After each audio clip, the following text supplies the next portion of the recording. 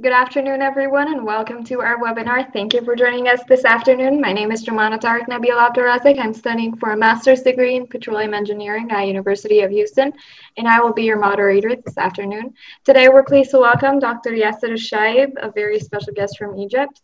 Dr. Yasser got his bachelor's degree in mining engineering from Cairo University in 1990 and had his PhD from Nancy School of Mines in France on the contribution of fuzzy logic to geotechnical risk assessment of some ancient tombs of uh, the Valley of the Kings in Egypt.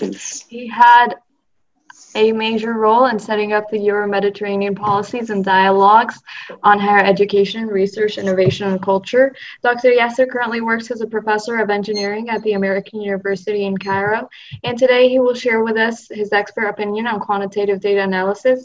This will be the last session for this course. We will definitely miss Dr. Yasser Shayab on PioPetro. If you haven't already, please make sure to check out our previous sessions on PioPetro YouTube channel and join our Facebook page, Arab Oil and Gas, for the latest updates on our September courses. Please feel free to send your questions in the chat box and we will answer as many questions as possible. With that, I give you the, um, I ask you to give your full attention to Dr. Yasser Shaib and help me in welcoming him. Please welcome Dr. Yasser Shaib. Hi, Dr. Yasser. Thanks for joining us today. And for the last time, to pick up where we left off in the quantitative data analysis course.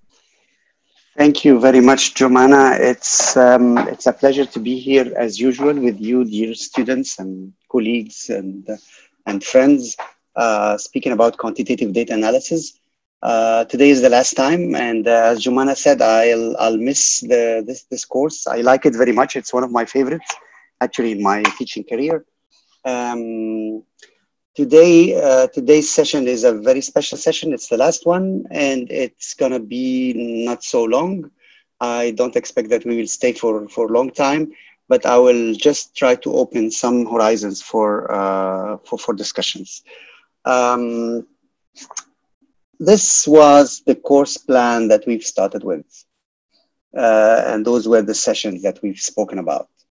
Um, in the very first session, we had some introduction. I had the presentation about randomness and how this world is being governed by randomness sometimes, and how, how humanity have tried to to um, to, to tame maybe uh, the, this randomness in the world uh, by developing some equations, by continuing to develop some equations, by some of us working on data, some of us working on data banks, and, and so on. Um, in a, in a, I think it was in the same session where we, where we, where we spoke also about uh, some statistics, some basic statistics. No, it was the second session that we spoke about the, the, the basic statistics, and uh, I put it in between parentheses as a reminder because um, this course is not about statistics and it's not about uh, giving you mathematical background and three kilometers long equations and, uh, and proofs and, and so on and so forth. But um, sometimes it's interesting, it's important that we uh, remind ourselves of some of the basic statistics, basic concepts that we've had throughout our education years. Sometimes, I mean, uh, I, I, I, believe that the first time that any one of us have, have heard about the mean average score was maybe when he was in elementary school or basic education, maybe year six, maybe year seven of his uh, K 12 uh, education system. Um, then, uh, with the time, we start. I mean, some of us would move into uh, more mathematical uh, disciplines, some of us would move towards more of uh, literature education. But usually, we still hear about those means average, uh, medians, modes, variance, standard deviation sometimes, and, uh, and so on and so forth. And this was actually the, the, the, the main reason, is to remind ourselves that those concepts exist, that we should maybe look into them once again, but not to look into them from a mathematical point of view about, I mean, i.e. how to, how to calculate them, but more of uh, what's the physical meaning of, um, of a mean? What's the physical meaning of a median? What does it mean to say that the median of the population is 30 years old? What does that mean? Is it good? Is it bad? Is it what? What does it mean when I say that the mean of a population is 50 years with a standard deviation of 1.2 years? What does that mean? How can we, um, what's the mental image that we will have for that, uh, for, for, for, that population? For that, we, we worked also, I mean, I had also a small uh, slide speaking about probability theory and um, the probability of an event happening. And of course, the example of the dice, throwing the dice and having any number that is between one and six with an equal uh, probabilities, and then throwing two dices together and maybe sometimes throwing maybe 100 dices and trying to extract some information from, um, from those dices. And um, I ended up uh, speaking about some statistical distribution, uh, distribution, sorry, binomial distribution, um, I think Poisson distribution, and the very famous normal distribution that everyone is using, that everyone is, is, is working on. That was statistics. Then uh, we moved to data analysis, where we spoke about the matrix. What is the data matrix? What I call the data matrix, which is the table of data that, that we have. And then we spoke about this cycle of, uh, of, of, analysis that we start by having a problem or asking a question, then elaborating the data, then exploring the data, then um, having some maybe prediction of the data and, and, and so on. And uh, one of the, um, the very important uh, topics in that uh, aspect that I kept coming back to it uh, uh, lecture after lecture was data preparation. And again, for maybe the 100th time, and I will not uh, stop saying so, data preparation is very important. Data preparation could um, save ourselves um, a lot of time when we do the analysis. And usually data preparation takes about 60 to 80% of our time of um, a, data a data analysis uh, cycle, a whole cycle. So we spend a lot of time doing uh, preparation. Different types of preparation that, that can we can look into uh, and we've we've spoken about maybe briefly. Then um, we had a session, a complete session about visual data analysis and how visuals, I mean, how how uh, uh, data info, I mean, uh, data could be projected uh, on um, using a single variable and then maybe multiple variables, maybe three, four, five, six variables together, and how to cross information together in a visual way, and how to see um, uh, information about, uh, about about the data. And in this aspect, actually, I would like to draw your attention to um, a website that is uh, let me let me go and, and, search for it because it shows uh, a lot of information about the visuality of the data. Uh, visual cap.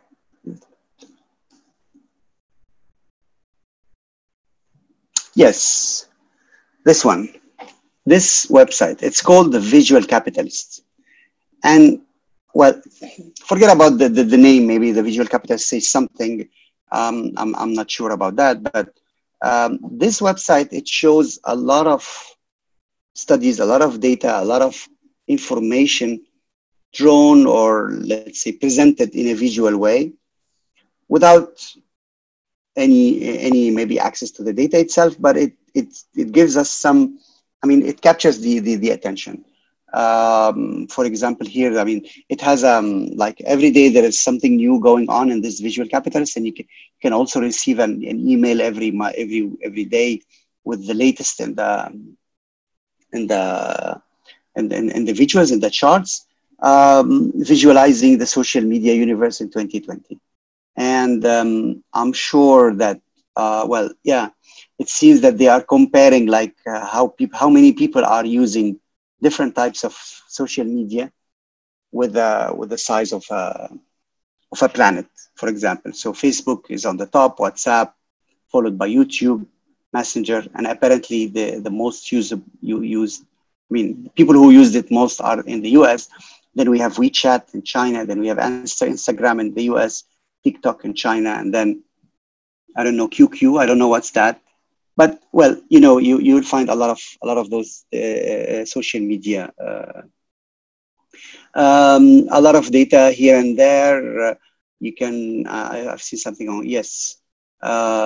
This is COVID nineteen and the pandemic of COVID nineteen. How the, the, the, the pandemic is moving what's the daily new confirmed cases in all around the world, and you can search for your country and you can look into it. Uh, I'm stopping here just by, by, by coincidence, and this is Canada, and this is the curve. This is the, the development, let's say, of the COVID-19 cases in, in Canada. Australia is here, Denmark is here, Estonia is here, Finland. I mean, every country in the world is here apparently. So it would be maybe difficult to, to identify a specific country or your country that, that, that you'd like to. But, but at the end, it's, it's a visual way to show a lot of information. So there is a lot, a lot, a lot, a lot of information that is in a graph like this, uh, um, for example.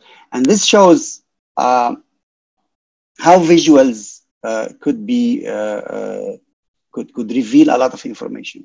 I don't know what's that. I just clicked just like, like that map, the European CBD landscape. I don't know what CBD stands for. Uh, short for can you be, can you cannabidiol? Okay, well, uh, let's not speak about that for the moment. yes, I mean, visualize how much revenue automakers generate every second.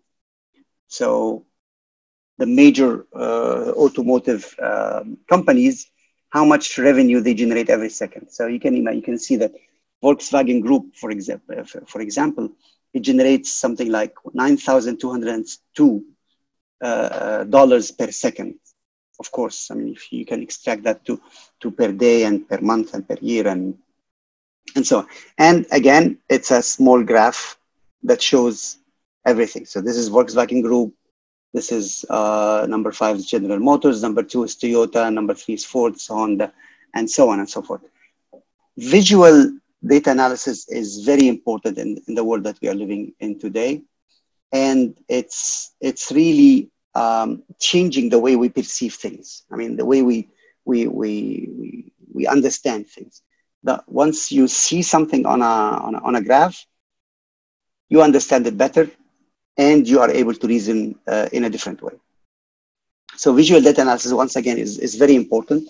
But the more important is how to project it and how to use it and how to to present it. And of course, you can, present it in, in, in, different ways. As, as I just showed you now, three or four or five different graphs, everyone is speaking about different thing. And all of those are within this category of uh, visual data analysis. Then in the, in, the, in the session afterwards, we spoke about the exploratory uh, uh, methods. And specifically, we spoke about two, uh, two methods the, the principal component analysis and the clustering analysis. The principal component analysis and the clustering analysis are exploratory techniques, i.e., they don't interfere. I mean, we don't interfere at all. We don't uh, predict something. We just try to understand the underlying structure of the data. So you have a data and you have a data matrix. You've you've seen it in a different way. You've projected the data maybe on a on a map. You maybe you've projected and, and using a histogram or a or a 2D plot or whatever plot that, that you're using. Now you want to explore it. You want to understand the structure of this data. How is it uh, behaving with, with, with, with respect to each other? And this is where we employ exploratory data, data analysis. So we spoke about principal component analysis, which is a, reduction uh, of variables uh, tool that we use. If you have 15 variable in your uh, in your data and you would like to see see really see how those 15 variables are behaving with respect to each other it would be very difficult because as we spoke at that time if you you need like a space of a 15 dimension in order to see that uh, that cloud or that that, that, that, this type of information. So we employ principal component analysis on correlation matrix and, and so on and so forth. And at the end, we have like two variables or two new variables, two new dimensions, two new, we call them principal components, two new principal components. And those two new principal components, they carry with them um, most of the data that exist in the 15 uh, variable uh, data matrix that we started with and it's a it's a reduction way. So it's it, it, it it's a way to show a map of the of the variables together and how they are interacting with each other, how they are correlating with each other, how they affect each other, what's independent, what's dependent, and so on and so forth.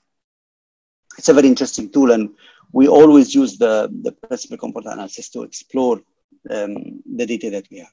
Then we spoke about clustering analysis, how to cluster the data, how to, to differentiate between the data in smaller groups. We have like, we have now 44 people and 34 participants in the, in the in this lecture, in the webinar, live and on Zoom.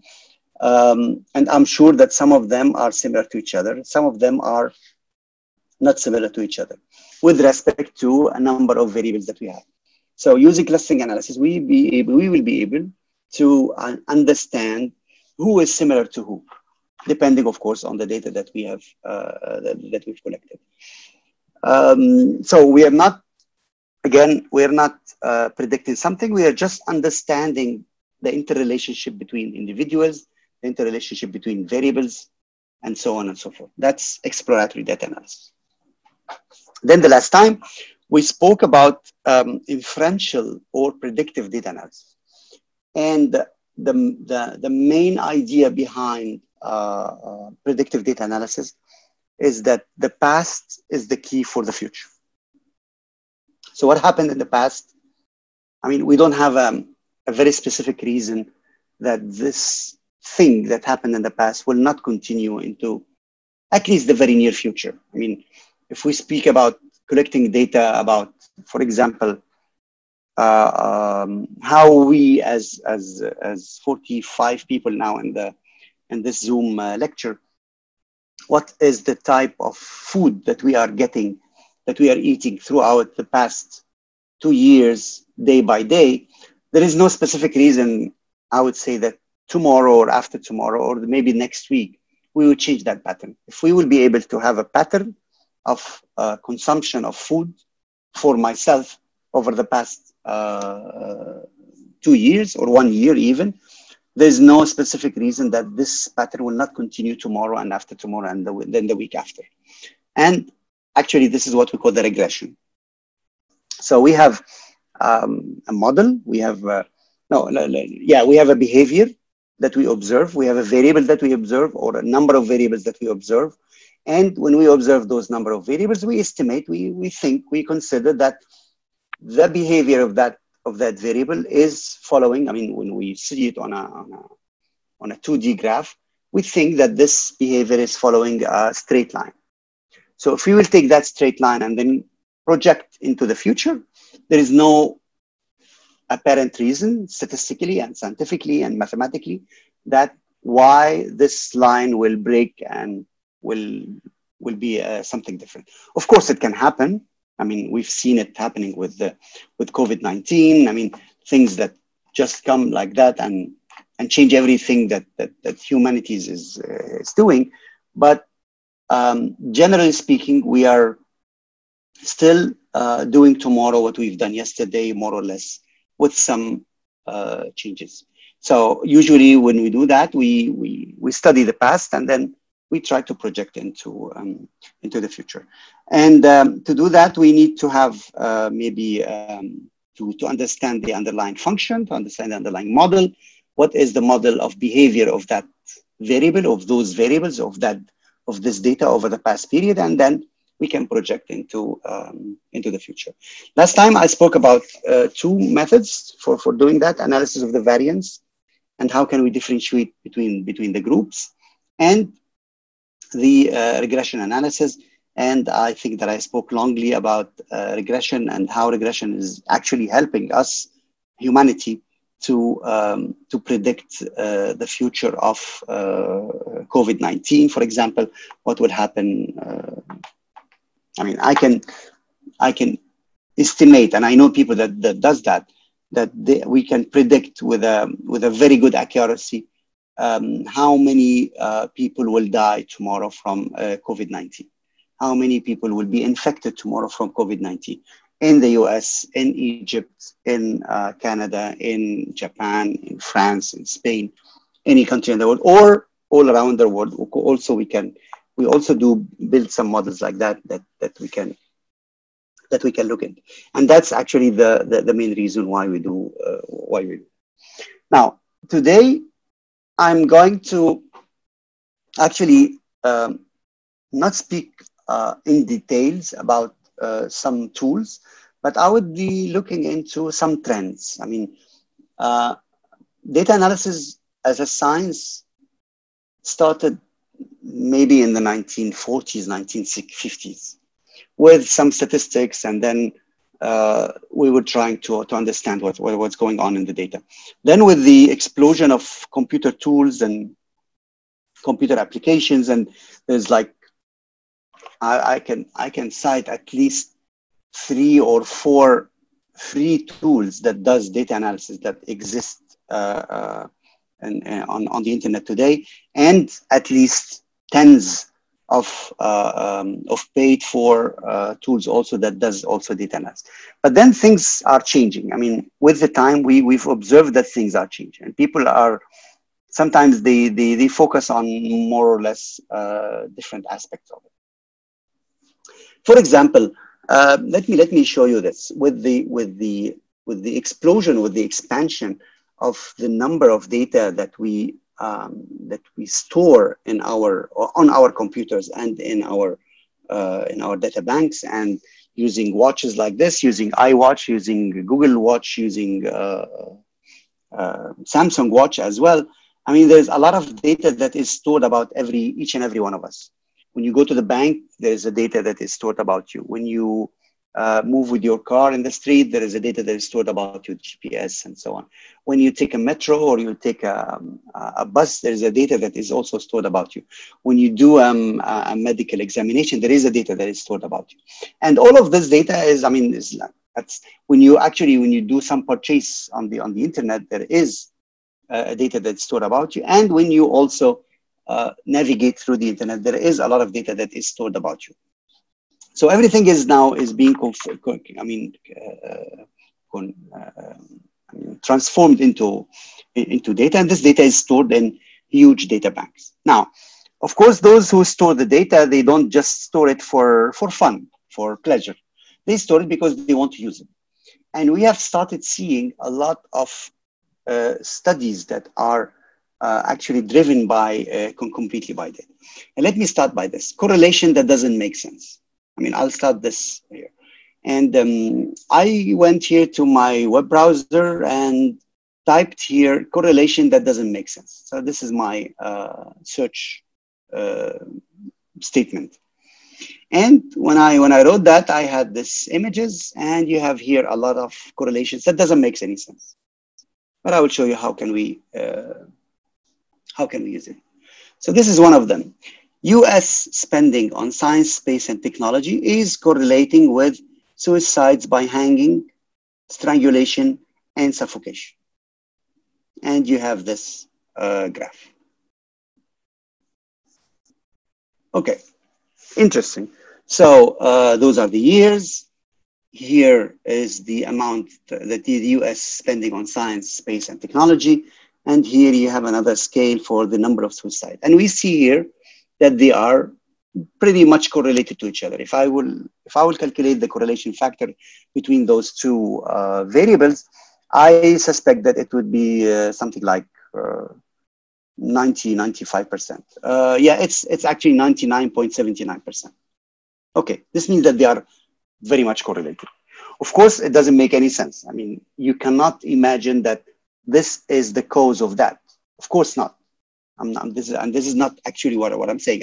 I always say that correlation does not mean causation. But the more the, the, the interesting part about it is that using actually one of those variables, you can predict another variable. Example, if you will know that the suiciding by hanging and, strangula- and strangulation and suffocation is correlated to, to the power of 99% with the US spending on science and technology. And this is the year 2009. If I will tell you in the year 2011, forget about 2010 even, if I will tell you in the year 2011, the number of people who have uh, uh, suicide or have committed suicide by hanging, strangulation, and suffocation in the US is, uh, let's say, 8,000. Can you predict the number of US spending on science, space, and technology? Actually, yes. it doesn't make any sense. I mean, this correlation doesn't mean doesn't mean anything in, in reality in physical world, but there is a good use for it. So you can correlate and you can say, well, there is no reason that it will not be following the same correlation because I have studied since year 1999 and it's for 10 years has been following the same trend. So I can imagine, I can tell you, if you will tell me how much people committed suicide in the year 2010 or 2011 or 2012, I can tell you how much the US is spending on science, space, and technology. The same thing goes for number of people who drown by falling into a pool is correlated by the number of films Nicolas Cage appeared in. Per capita cheese consumption and the number of people who died by becoming strangled in their uh, bed sheet. Divorce rate in Maine per capita consumption of uh, margarine. Age of Miss America, murders by steam, hot vapor, and hot oxygen. A lot of those correlations that are driven actually by data doesn't make absolutely no sense at all, but they are still are very use, useful, useful, and we can actually use them to predict some uh, uh, so some other variables. So don't be um, don't be surprised if I will come tomorrow and tell you, I know how much will you spend today because I have uh, calculated the number of uh, childbirth that happened in, uh, uh let's say, France over the past two hours. And if you'll ask me how would you how would you do that, I would tell you it's simply correlation. It's simply data. I was able to prove that there is a correlation, for example, between the, the amount of uh, expenditure per day per, for, for a person called uh, X, called Yali, called Yasser, called John, whatever, and the number of uh, death, for example, uh, by car accidents that happens every day in France. There are no relationship between the two. There are no causation between the two. But the world that we are living in, with the randomness that we are living in, proves that there is apparently a mathematical, I would say, random relation between the two. And we can actually use that uh, mathematical function. This is the power of data. This is the power of things that we will continue to see in the future that we will actually that it will actually expand in the future. I mean, we expect that those kind of correlation would expand in the future, that we will be able actually to relate everything to everything. So we'll be able to predict almost every behavior for every uh, person. Just give us the time, just give me some time to uh, correlate it and to understand how it is uh, correlated with something else. I invite you really to go to the internet and look for uh, for those kind of correlation because it's um, it's a trend in, in in data analysis now that once we have captured a lot of data about everyone how can we use it? How can we make use of it? And this is uh, one of the things that we do. The the other type of, of, of data analysis that is in expansion in full expansion these days is the time series. And actually it's not new. It's it's old. It's a very old uh, data analysis tool, the time series. But these days it shows a lot of expansion because there's a lot of technology development that is, uh, is behind. What is time series? Time series, I've made, um, yeah, a search here, and this is Wikipedia, and it's time series. And I search just for time series, and I have it here. Time series is, is the type of data, is the, actually, is the index of the stock market. And you will understand that the index of the stock market has been practiced since maybe since the time there was a stock market, since time there was uh, um, a stock exchange. Since the time, maybe I, I would say that maybe since 16th or 17th century. It's very old. And people used to put the data one after the other. So day one, the price of my uh, stock was $15 and then $16 and then $13 and then $14 and then $20 and then and then and then. And then it's, I mean, it, it might look like this, for example. Forget about the titles now, I'm, I'm not, but let's take this blue, this red line as the price of a stock. whatever that stock is. I don't know what's what's what's that stock, but um, people were interested actually to look into those the development of this curve. How is it developed? Is it, do you see a trend on, on I mean, that's the question that they were asking themselves. Do you see a trend? Can we predict where this action will go tomorrow? Will it go up? Will it go down? And if it will go up, how much up will it go? If it go down, how much down will it go? And an explosion actually of, uh, uh, of, of data, explosion of tools that uh, you can find a lot of them here and how how, how things are, are done. I don't know what data is about. But anyway, I mean, this is like uh, something going on, and then there is a trend. And actually, this is this is one of the outputs of, of, of the stock market. I mean, I mean, it started with the stock market, but uh, this is one this that was one of the outputs that no matter, I mean, a person would not really care about what will happen tomorrow to the stock uh, price. But what's more important for him or for her is the general trend. Is this stock gaining momentum or is this stock gaining momentum, gaining money, or this stock is actually uh, losing momentum, losing money? So if I would like to invest my money in, in one of the stocks, my interest would be that I would like to go to a stock that is going up, not a stock that is uh, go, going down. And there has been a lot of tools, a lot of people that have spent their time and their fortune uh, uh, working on, um, on the time series. And in recent years, actually, in recent days, uh, we started actually seeing a lot of, that's why I say it's, it's very important now. We started seeing a lot of um, different interpretation of the data, like uh, different fitting of that data. Um, a curve like that going up and down, up and down, up and down doesn't make any sense. But uh, using wave theory, using um, chaos theory, using uh, maybe um, trigonometric, trigonometric functions, maybe we would be able to simulate this curve. And once we will be able to simulate that curve, we will be able to understand uh, its future. It's more or less like the regression analysis, but it's uh, the, the, the, main factor that plays something here is time. It's not, uh, it's not something else. I mean, we know that there are, there are other factors that are affecting, for example, the, the, the, the price, but usually when we do that, when we do the analysis, we don't look, we only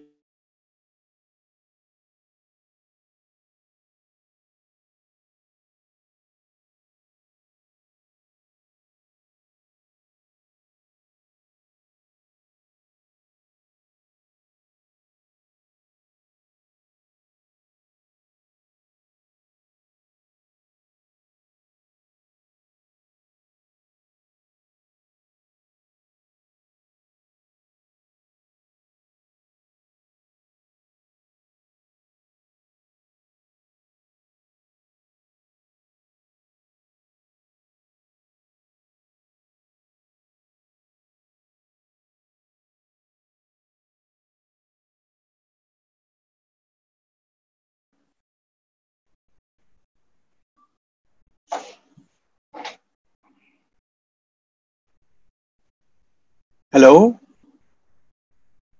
I think I was cut. I think I was cut. Now I'm back.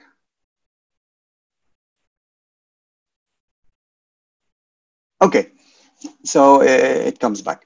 Um, so the shopping basket analysis, uh, let me start the share.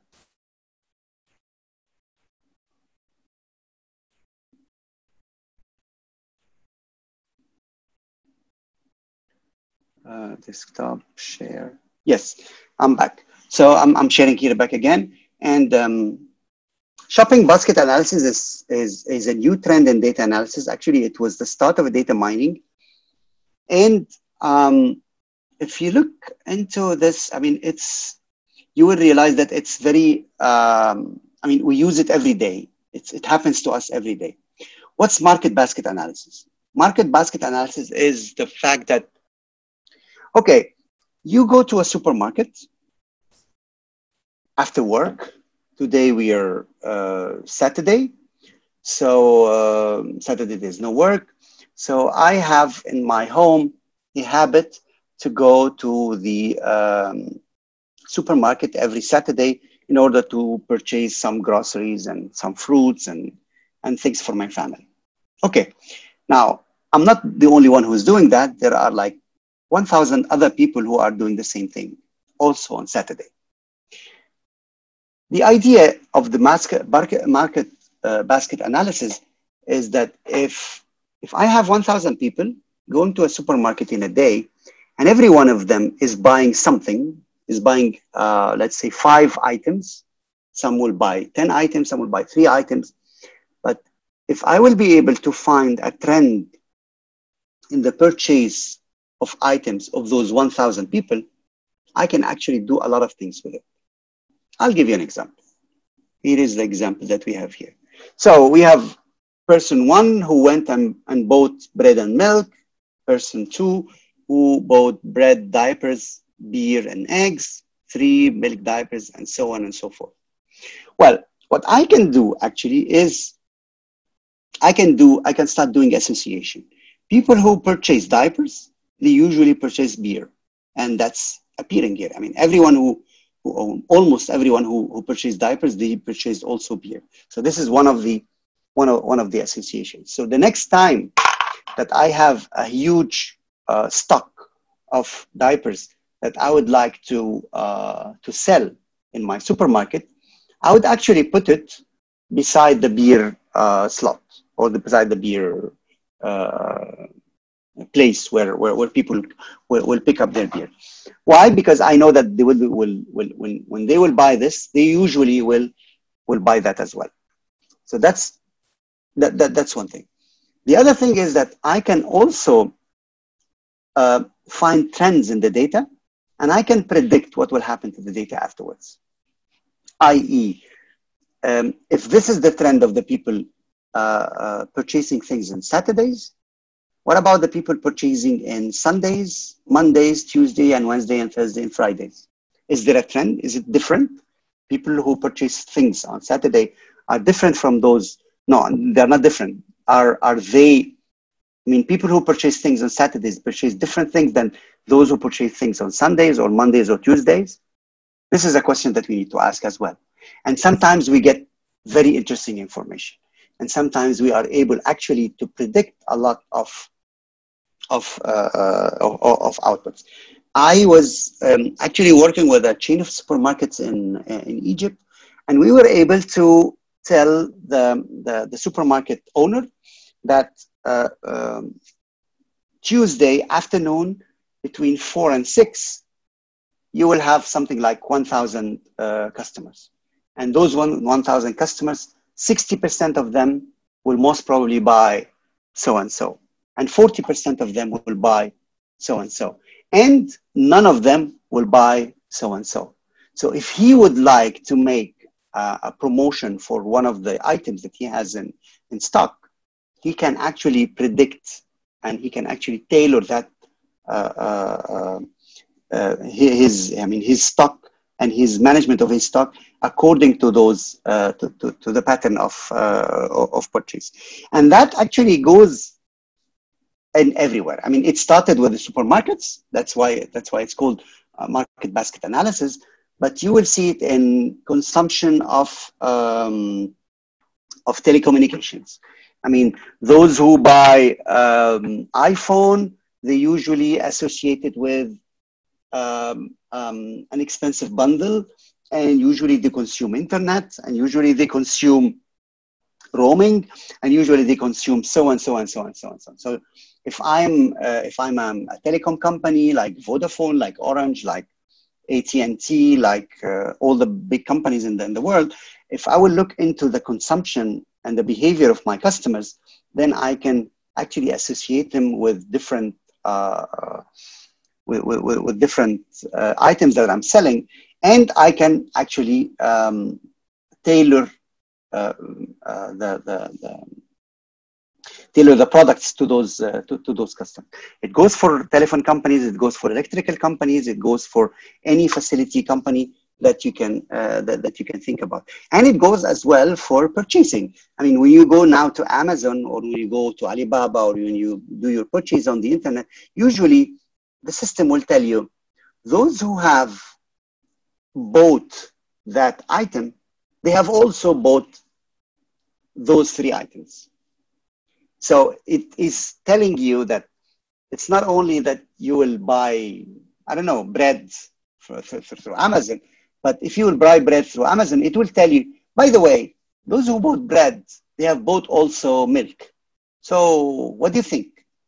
And it will also, of course, it will, it will of course tell you, it will give you some incitements on, on, on, on buying. So we call this the association rules, the association of, of items together. But uh, from a data analysis point of view, we call it, I mean, the, the, the first time that we've heard about something like this was called the market basket analysis, and it's very trendy in um, in the data these days. And the more that we have data, the more that we purchase things over the internet, the more that we have data about our behavior, the more that we will be able also to give information about it and to reason uh, to reason about it. Now, um, the one before last uh, uh here is case-based reasoning.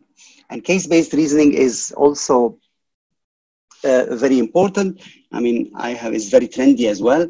I've searched also over, over the internet. Here you have case-based reasoning over Wikipedia, and you will read here that, well, apparently behaviors, I mean, system behaviors are more or less the same, and human behavior are more or less the same. Uh, animal behaviors are more or less the same. So if you have a if you have a, a new case, if you have something new, uh, that goes, of course, for medicine. It goes also for oil wells. It goes for, I mean, diff- different things.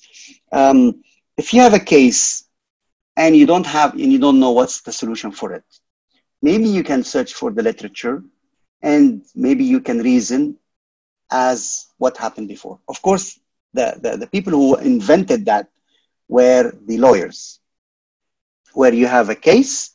That's why it's, case, it's called case-based reasoning.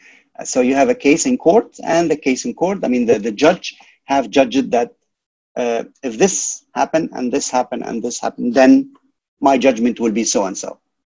So if in the future you will have the same case or a similar case, more or less similar case, you can reason based on that uh, on, on that old reasoning.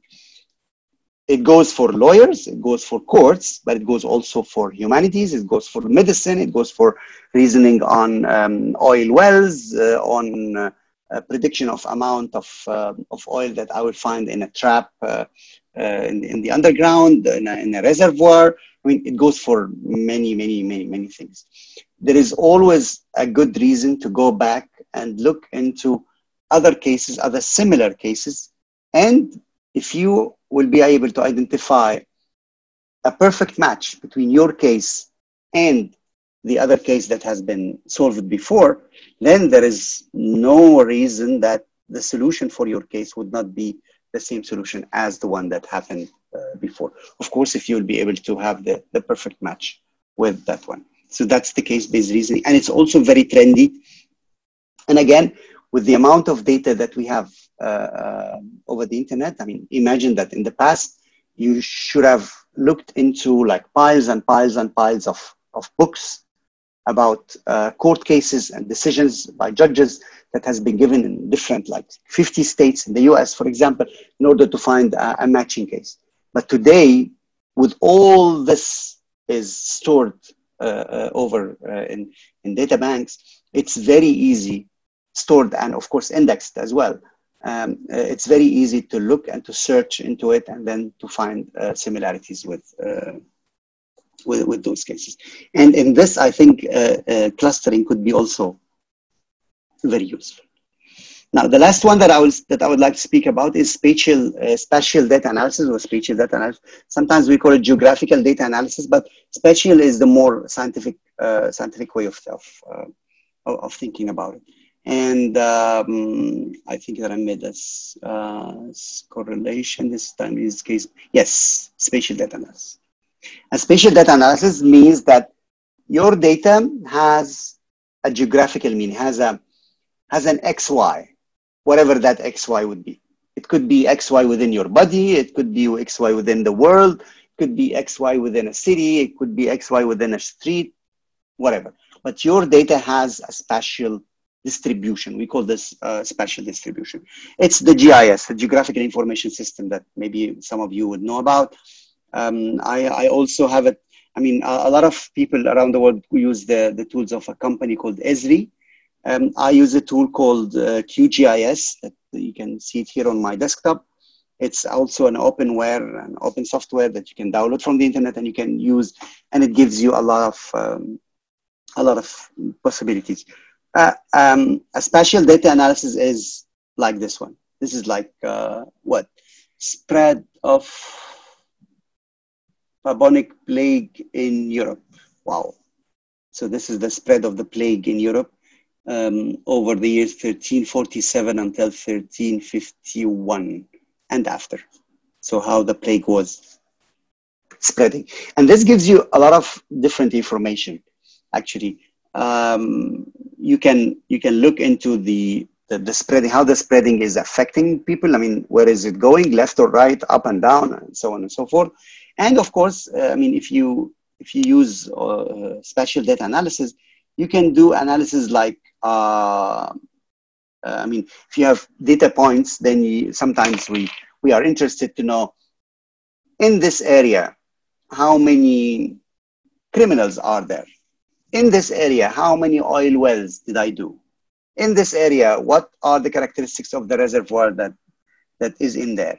And of course, you can reason highly on that. I mean, if you have a, for example, if you have a map of the Gulf area with all the oil wells and, uh, and um, and the gas wells and and the quality of um, of, um, of, of, of the oil and the gas that is the natural gas that is extracted, um, you can just simply. I would like to know how much oil and gas exist in this uh, in this area, the Gulf area, and well, you can using uh, a data analysis tool like like like this, you can you can have the, the answer in three four minutes. How many uh, oil wells are produced in, in Saudi Arabia or in this area of Saudi Arabia, or in this area of, of, of the Emirates, or in this area of Kuwait, and, and so on and so forth. It's, it's a very interesting uh, tool. And it also has, I mean, a combination between visual tool, a visual tool, and a data analysis tool. So that's the, the both of them. The tool that I use for that, I, I showed you last, last time, Tableau. Um, and let me just open that, uh, uh, that, that file that I started actually the first, maybe I think it was, a, yeah, it was the first webinar when we started at the beginning. Uh, participants, yes. Uh, yeah. So I go back to Tableau.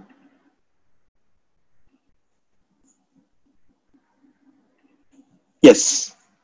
And I had here, where is it? A map. Yes. That's the map of the participants in that course. Those are the people who have uh, registered for this course at the beginning. And I have just, uh, I have a data, uh, a data matrix that you can see it here. And you have time timestamp, name of people, and, and so on and so forth. I have like one, 1,600 uh, plus uh, data points. And the idea was to, to, to try to see how many of them are, uh, I mean, which country do they come from? And I can proudly say that I have people from, I mean, we have people in this course from all around the world, from the six continents. I mean, this graph is for me very uh, very uh, satisfactory. Because it shows that there is an interest well with uh, more or less different degrees but there is an interest in this course or, or in that or in that topic at least. And there are people who are uh, actually registering for uh, or, or, registering yes for, for that course from uh, different countries around the world. So as i said it's um it's a visual way to see things but it shows that, I mean, uh, I mean, it proves that the data have a special uh, dimension. And this special dimension is what makes the, the, the tool called spatial data analysis. Now, I will, I will actually stop here, not because there is nothing more to be said about trending or new or other techniques. It's because at some point of time, someone has to stop. I mean, I can, I mean, we can continue with the data analysis forever. I mean, there are like, I wouldn't be exaggerating if I would say that, yeah, every week or every other week, there is a new tool, there is a new uh, technique of data analysis that is uh, developing here and there. And sometimes people develop techniques and tools that are suitable for one domain or another.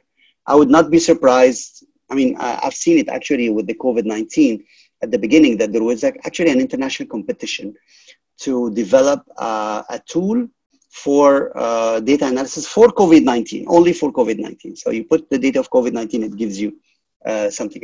I didn't actually follow what, what were the outcome of that international competition, but I imagine that it was uh, it, was successful and this is just an, an example so i wouldn't i wouldn't be surprised if some of you or one of you I, I don't know it but if one of you will come and say well you know my company we work in the oil and gas field and we have this tool for data analysis and we use it since long time. Well okay fine.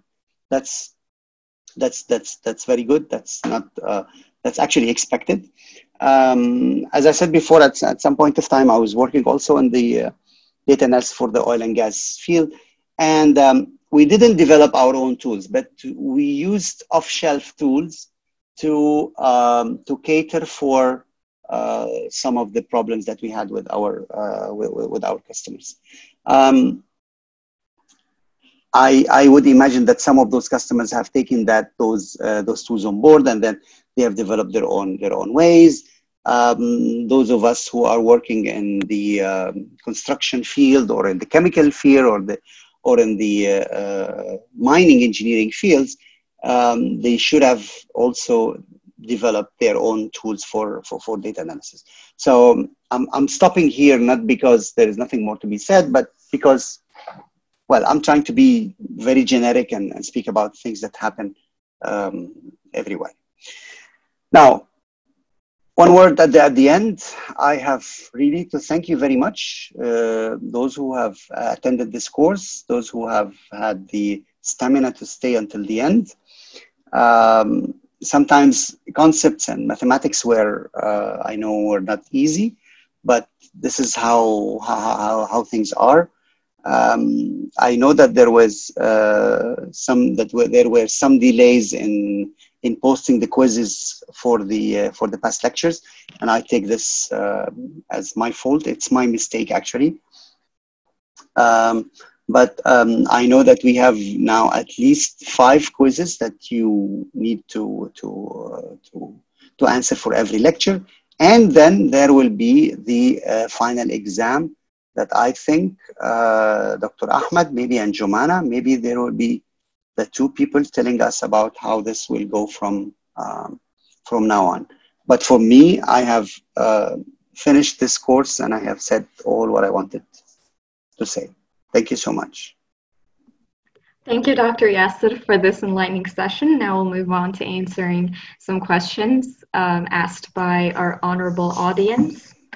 Uh, so someone says, what caused the statisticians to um, even think about correlating these unrelatable variables um, and doing the correlations between them? What drive them to correlate between them? Well, you know, sometimes when I when I'm sitting at home and uh, over a weekend and I have nothing to do, sometimes I also do some nonsense correlation between between variables. It's a human curiosity looking into things that are not correlated or asking a system what is correlated? I mean you have like a huge database. What is correlated with what and you just ask questions like that. So that's one reason that's one reason. The other reason is as i said in my uh, in, in, the talk the the ability to predict. Can i use i mean humanity is always um, obsessed by knowing what will happen in the future. So uh, some of the statisticians will take uh, this correlation as a tool for prediction in the future. And it doesn't make sense, but it works.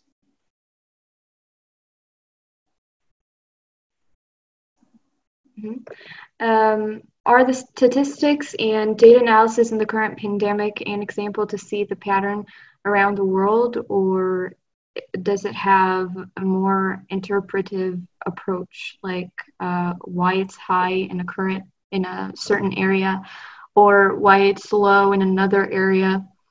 And uh, do they find a way to mitigate its spreading by quantitative data? Well, um, uh, I would say yes, yes and no. Sometimes, um, but I mean, we uh, uh, we know that um, a pandemic is always and will be always using, I will be always following a logistic regression. So it will go up and then it will go, uh, it, it, will go down. Now, how to adjust our model and how to predict what will happen in, in, um, in a specific country or around the world, this is a very difficult question. Now, to use correlation and to use correlation among variables, among different variables, uh, this is also doable. I mean, uh, you definitely have, have seen it at, at the beginning. Uh, many scientists were speaking about a vaccine of tuberculosis that countries who have practiced uh, vaccines of tuberculosis they have less cases than um, than than the others. And that i mean you can look at it from a, a nonsense correlation point of view but why not? Why don't we think about that? I mean let's let's just put this hypothesis. And then it happened also that we had also another hypothesis saying that countries with uh, high uh, temperature, uh, like heat waves, they have less uh, uh, they have less cases of, of, of, of, pandemic. So, I mean, we tried actually, we, and when I say we, we, I mean, I'm speaking about humanities. we tried to, um, to correlate different variables with the spread of the pandemic in a certain area. Um, some of this, some of them have succeeded. Some of them have just proved to be complete nonsense. Um, and of course, you know about uh, uh, hydroxychloroquine and uh, some of the vaccines, some of the medicines that were said at some point of time that they are affecting positively or negatively the, uh, the spread of the virus. And then with time, it proved that it's completely, completely wrong. Or uh, some other people speaking about uh, uh, detergent, using using detergent to, uh, I mean, to to clean or to to to even to to to put them inside your body in order to to kill the virus. So we we tried to to find those correlation, and um, and this is the way. I mean, this is the beginning of how can you can actually develop a vaccine. Sometimes you develop a vaccine because you've observed something that doesn't make sense, but then it works uh, at, at, the end. So, I mean, to answer your question specifically, uh, yes, we can use correlations to, uh, to predict the, the spread of the virus. And if we will be able to predict the spread of the virus, then we'll be able to stop it. Then we'll be able to reverse the, the, the trend. Mm-hmm. Uh, someone says, can the information be cut before being repeated? I think it's similar to regression. Uh, can the information uh, before the cut happen be repeated? Um, un until we until we have something different, until we have another proof, that's yes.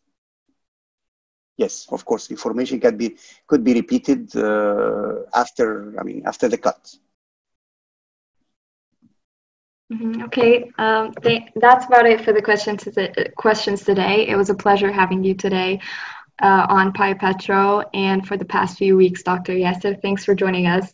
Uh, this was definitely a very insightful session, and thank you everyone for tuning in with us today. Dr. Yasser, we hope to have you again in the future. Thanks again. Inshallah. Thank you very much. Thank you so much. Have a good day.